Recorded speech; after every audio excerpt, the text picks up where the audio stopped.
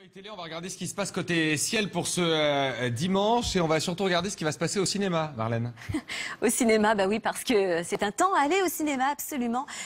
Comme prévu, la perturbation liée à l'ex-tempête tropicale Bertha est bien arrivée. Elle nous vient avec de la pluie, du vent. On a déjà relevé une pointe à plus de 90 km à l'heure sur la pointe de Penmar dans le Finistère. Et regardez comme ce temps est bien agité. Du vent, des pluies avec progressivement le retour de quelques éclaircies sur la pointe de Euh, Bertha. nous sommes le dimanche euh, 10 août. On aura peut-être du soleil sur l'ensemble de la France? La réponse avec Marlène? Nous sommes bien le 10 août et il ne fait pas beau. Évidemment, les, les restes de Bertha, ex-tempête tropicale, est arrivé sous forme d'une perturbation. Et oui, apportant de la pluie et du vent. Et je vous laisse regarder euh, les cartes pour euh, déjà ce matin avec des pluies soutenues attendues entre la Bretagne, les Pays de la Loire en remontant comme ça vers la côte d'Opale. Des pluies qui peuvent être ponctuées d'un petit coup de tonnerre d'ailleurs.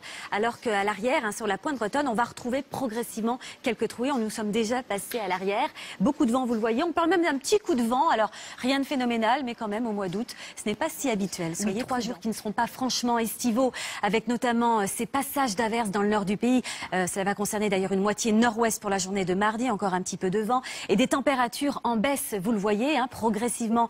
Nous atteindrons une moyenne de 20 degrés au nord, 25 au sud. Et pour la journée de mercredi, encore pas mal d'incertitudes. Le temps sera sans doute un petit peu plus perturbé que les jours précédents. Mais on garde l'espoir d'une petite poussée anticyclonique par le sud à partir de jeudi.